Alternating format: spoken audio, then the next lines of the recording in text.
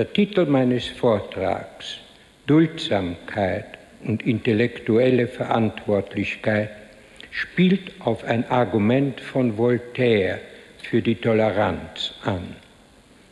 Voltaire fragt, was ist Toleranz? Und er antwortet, ich übersetze frei, Toleranz ist eine notwendige Folge der Einsicht, dass wir fehlbare Menschen sind. Irren ist menschlich und wir alle machen dauernd Fehler. So lasst uns denn einander unsere Torheiten verzeihen. Das ist das Grundgesetz des Naturrechts. Voltaire appelliert an unsere intellektuelle Redlichkeit. Wir sollen uns unsere Fehler, unsere Unwissenheit eingestehen. Voltaire weiß wohl, dass es durch und durch überzeugte Fanatiker gibt. Aber ist ihre Überzeugung wirklich durch und durch ehrlich? Haben sie sich selbst, ihre Überzeugungen und deren Gründe ehrlich geprüft? Und ist die kritische Selbstprüfung nicht ein Teil aller intellektuellen Redlichkeit? Ist nicht der Fanatismus oft ein Versuch, unsere eigenen uneingestandenen Unglauben, den wir unterdrückt haben und der uns deshalb nur halb bewusst ist, zu übertönen? Voltaires Appell an unsere intellektuelle Bescheidenheit und vor allem sein Appell an unsere intellektuelle Redlichkeit hat zu seiner Zeit großen Eindruck auf die Intellektuellen gemacht. Ich möchte diesen Appell hier erneuern. Voltaire begründet die Toleranz damit, dass wir einander unsere Torheiten verzeihen sollen. Aber eine weit verbreitete Torheit, die der Intoleranz, findet Voltaire mit Recht schwer zu tolerieren.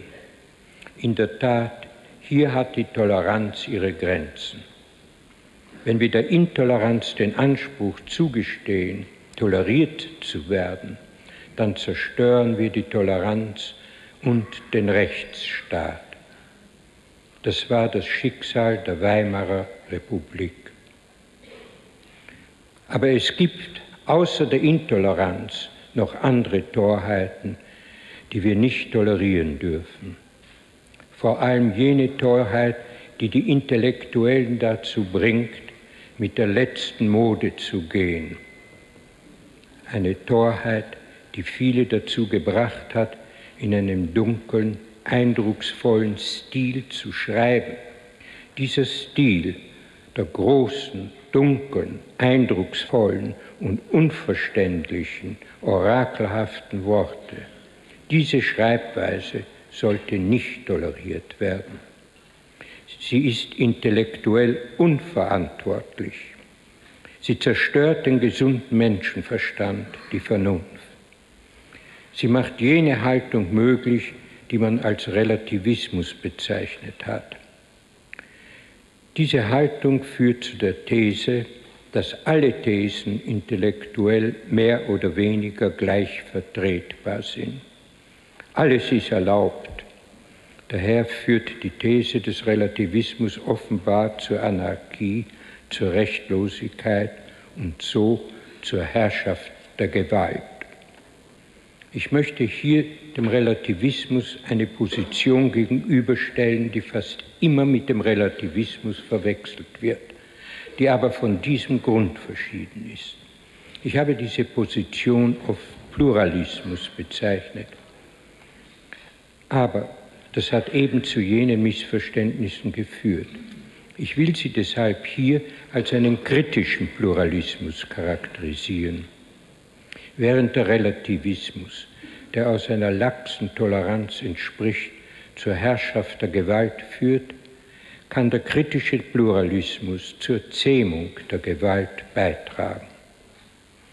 Für die Gegenüberstellung zwischen Relativismus und kritischem Pluralismus ist der Begriff der Wahrheit von entscheidender Bedeutung. Der Relativismus ist die Position, dass man alles behaupten kann oder fast alles und daher nichts.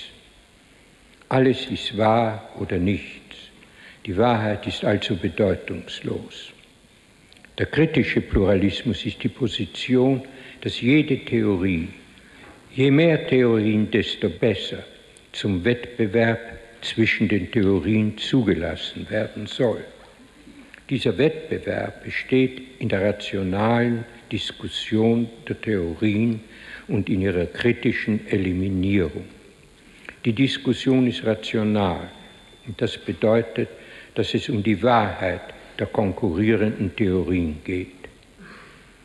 Die Theorie, die in der kritischen Diskussion der Wahrheit näher zu kommen scheint, ist die bessere. Und die bessere Theorie verdrängt die schlechteren Theorien. Es geht also um die Wahrheit. Die Idee der objektiven Wahrheit und die Idee der Wahrheitssuche ist hier von entscheidender Bedeutung. Der Mann, der als erster eine Wahrheitstheorie entwickelte, die die Idee der objektiven Wahrheit mit der Idee unserer grundsätzlichen menschlichen Fehlbarkeit verbindet, war der Forstsokratiker Xenophanes. Er wurde vermutlich im Jahre Gründer einer Tradition, einer Denkrichtung, zu der unter anderem Sokrates, Montaigne, Erasmus und Voltaire gehörten. Diese Tradition wird manchmal als die der skeptischen Schule bezeichnet, aber diese Bezeichnung kann leicht zu Missverständnissen führen. Dudens Wörterbuch erklärt Skepsis als Zweifel, Ungläubigkeit und Skeptiker als misstrauischer Mensch. Und das ist offenbar die deutsche Bedeutung des Wortes und die moderne Bedeutung überhaupt. Aber das griechische Verb, von dem sich die deutsche Wortfamilie skeptisch, Skeptiker, Skeptizismus herleitet, bedeutet nicht zweifeln, sondern prüfend betrachten, prüfen, erwägen, untersuchen, suchen, forschen. Unter den Skeptikern im griechischen Sinn des Wortes hat es sicher auch Zweifler und vielleicht auch misstrauische Menschen gegeben. Aber die fatale Gleichsetzung der Worte Skepsis und Zweifel war vermutlich ein Schachzug der stoischen Schule, die ihre Konkurrenten karikieren wollte. Was alle die Mitglieder dieser skeptischen Tradition gemeinsam haben, auch Nikolaus von Kues, der ein Kardinal war, und Erasmus von Rotterdam, und was auch ich mit dieser Tradition gemeinsam habe, ist, dass wir unsere menschliche Unwissenheit betonen. Daraus ziehen wir wichtige ethische Konsequenzen. Duldsamkeit aber keine Duldung der Unduldsamkeit, der Gewalt und der Grausamkeit. Wenn gesagt wird, dass die Naturwissenschaftler vieles wissen, dann ist das zwar richtig, aber das naturwissenschaftliche Wissen ist eben nicht sicheres Wissen. Es ist revidierbar. Es besteht aus überprüfbaren Vermutungen, im besten Fall ungemein streng überprüften Vermutungen, aber doch immer nur aus Vermutungen. Es ist hypothetisches Wissen, Vermutungswissen.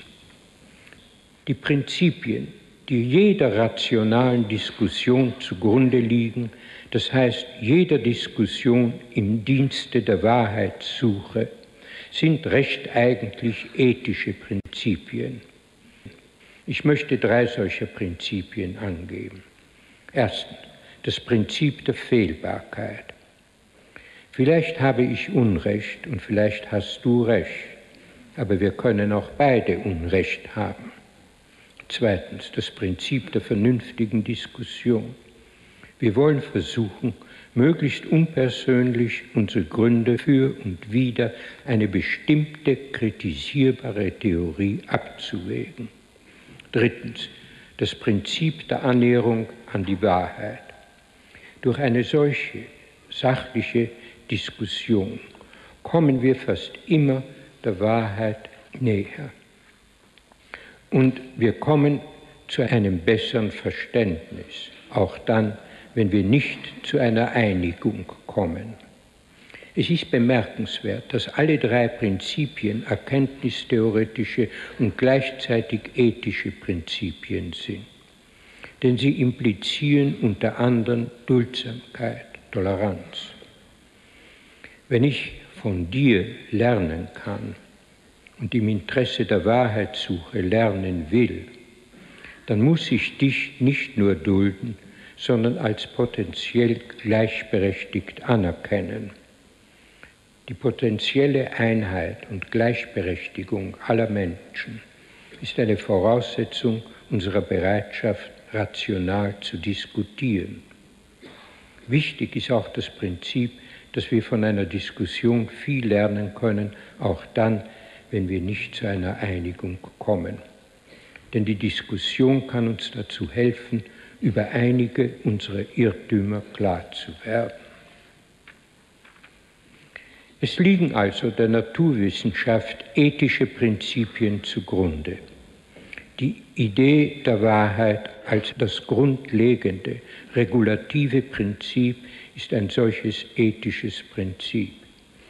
Die Wahrheitssuche die Annäherung an die Wahrheit ist ein ethisches Prinzip. Und so ist die Idee der intellektuellen Redlichkeit und der Fehlbarkeit, die uns zur selbstkritischen Haltung führt und zur Toleranz.